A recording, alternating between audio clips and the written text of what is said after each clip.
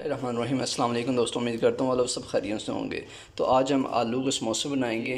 तो ये जो सी पट्टी है, ये हमने आपको बनाना सिखा दी है। इसकी मैं लिंक दे दूँगा, डिस्क्रिप्शन में आप लोग दे सकते हैं। तो सबसे पहले हमने तीन बड़े साइज़ के आलू लिए थे, उन्हें हमने उबाल के तो मैश कर लिए, ये मोटा सा रखा हमने। साथ हमने एक टी स्पून काली मिर्च ली है, और साथ हमने ये हरी मिर्चें लेनी, उन्हें बरी काट लिया है। और साथ ये हरा धनिया ले लिया, थोड़ा सा उन्हें धो के बरी बरी सा काट लिया और ये वन टीस्पून हमने नमक लिया है। तो ये साथ हमने ज़ीरा और सूखा धनिया लिया है हाफ़ टी स्पून तो ये आपको मैंने बता चुका हूँ कि ये पट्टी की रेसिपी आपको दे दूँगा, वो आप लोग दे सकते हैं। तो चलें, अब ज़रा मसाला तैयार करते हैं समोसों के लिए।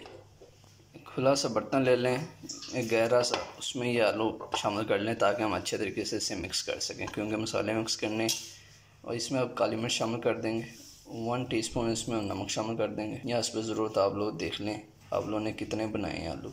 ये हरा धनिया हमने शामिल कर दिया। ये हमने सूखा धनिया और साथ ज़ीरा मिक्स है हाफ़ टी स्पून और साथ हमने ये हरी मिर्च ब्रीक काटी हुई थी, ये भी शामिल कर देंगे। अब इन्हें हम मिक्स कर लेंगे हाथों की मदद से अच्छे तरीके से,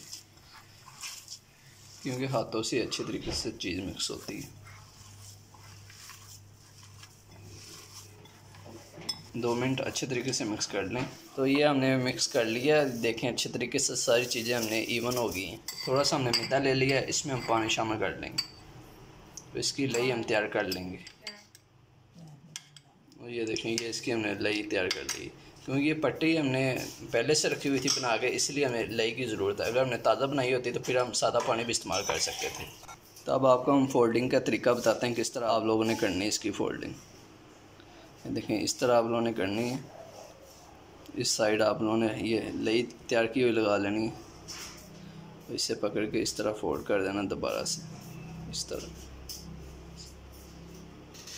तैयार होगी अब इसके अंदर हम अपना जो हमने मसाला तैयार किया, वो वो फिल कर देंगे। ये देखें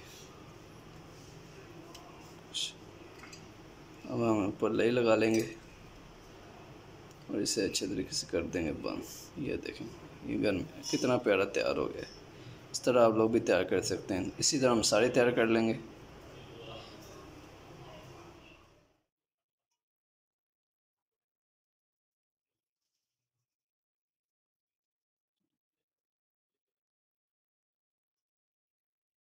तो हमने ये नौ समोसे बना लिए हैं। बाकी जो सी पट्टी बची थी, हमने वो सेव कर दी दोबारा से। तो जब फिर हमारा दिल करेगा, वो हम बना लेंगे। तो ये देखें, हमने इस तरह बना लिए तो अब इन्हें फ्राई करते हैं। तो कढ़ाई में हमने कुकिंग वाली शामिल कर लिया। तो अब हमने ऑयल भी गर्म कर लिया है। तो ऑयल गर्म करके हमने ये देखें फ्रेम को लो कर दिया है। तो अब इसमें समोसे शामिल कर देंगे। ये देखें। जितने ज़्यादा शामिल हो सकते हैं, जितने हम कर सकते हैं, उतने कर देंगे। ये कितनी प्यारी शेप बनी है इनकी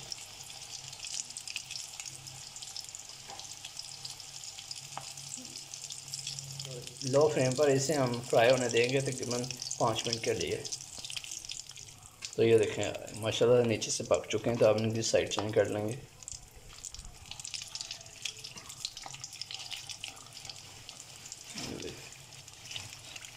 फ्लेम पर, बिल्कुल लो फ्लेम पर हम इन्हें पका रहे हैं।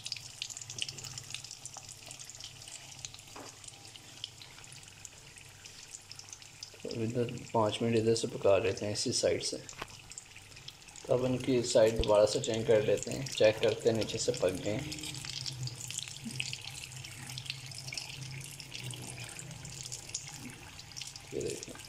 नीचे से हार्ड होना शुरू हो गए। लेकिन अभी कलर नहीं नहीं आया। अब यहाँ पे नहीं हम कलर दे देंगे, थोड़ा फ्रेम तेज़ करके। तो अच्छा कलर आ चुका है तो अब हम निकाल देंगे। इससे ज़्यादा हमने क्या गोल्डन करना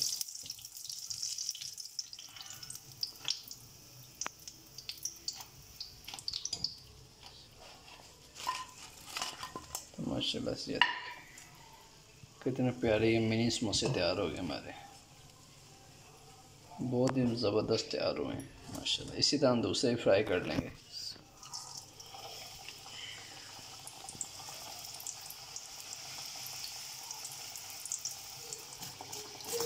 माशाल्लाह से ये तैयार हो गए हैं तो ये भी निकाल लेंगे हम। ये देखें, कितना ज़बरदस्त कलर आ गया है। तो माशाल्लाह से ये देखें, ये मिनी समोसे हमारे कितने ज़बरदस्त तैयार हो गए हैं। तो आप लोग भी इसी तरह तैयार कर सकते हैं। वैसे समोसा पट्टे की रेसिपी वो मैं आप लोगों को डिस्क्रिप्शन में दे दूँगा। आप लोग वो देख सकते हैं। वो भी आसानी से तैयार हो जाती है। वहाँ से आप लोग देख के समोसे की पट्टी बना लें फिर आप लोग मैंने फ्रीज़ भी कर सकते हैं या उसी वक्त भी समोसा बना सकते हैं। तो ये देखें कितने ज़बरदस्त समोसे तैयार हुए हैं। माशा तो बहुत ही ज़्यादा अफ्तारी के वक्त तो अमूमन हर घर में तैयार होते हैं और जल्दी से बन जाते हैं। तो आप लोग से गुजारिश है कि हमारे चैनल को ज़रूर सब्सक्राइब करें और हमारी वीडियो मुकम्मल देखा करें और चैनल को रेगुलर विज़िट करते रहा करें। हमें अपनी दुआ में याद रखना। अल्लाह हाफिज़।